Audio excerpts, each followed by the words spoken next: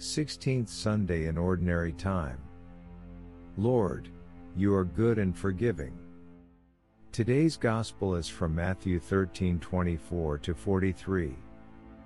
Jesus put another parable before them, saying, The kingdom of heaven may be compared to a man who sowed good seed in his field, but while his men were sleeping, his enemy came and sowed weeds among the wheat and went away.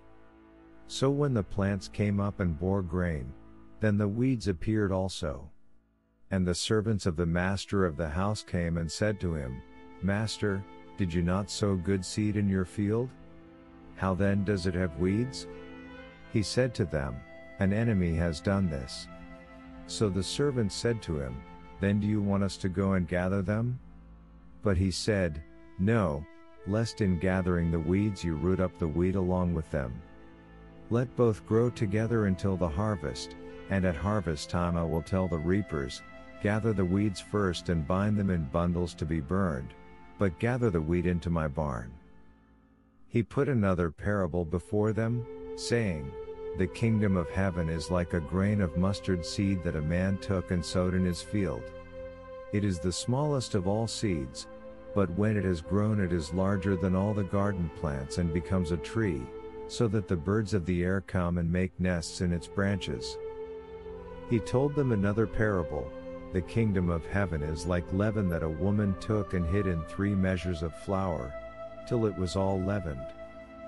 All these things Jesus said to the crowds in parables, indeed, he said nothing to them without a parable. This was to fulfill what was spoken by the prophet I will open my mouth in parables, I will utter what has been hidden since the foundation of the world.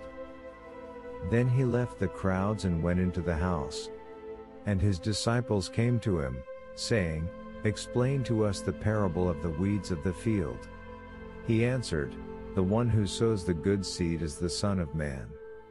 The field is the world, and the good seed is the sons of the kingdom.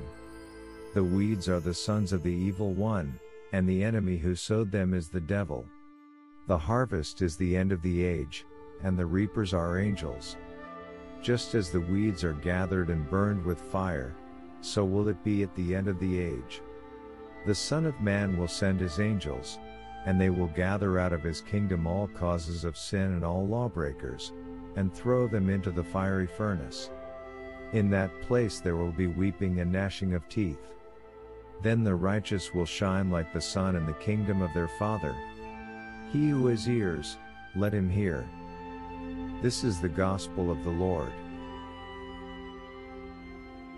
These parables illustrate the nature and growth of the kingdom of heaven. The parable of the wheat and the weeds explains that both good and evil exist in the world, and they will coexist until the end of the age. The parables of the mustard seed and the yeast show that the kingdom of heaven starts small, but grows and permeates the world ultimately bringing transformation.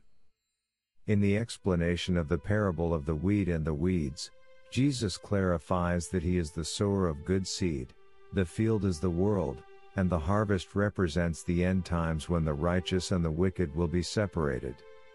The parables highlight the reality of both judgment and eternal reward, emphasizing the importance of discerning and embracing God's kingdom. So let us pray.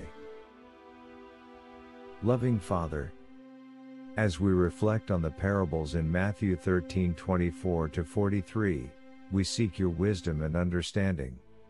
Help us discern good and evil in the world and remain rooted in your truth.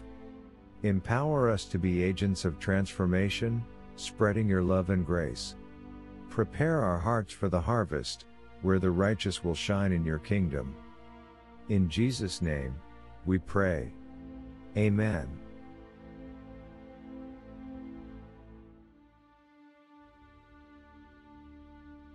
Type Amen if you feel blessed.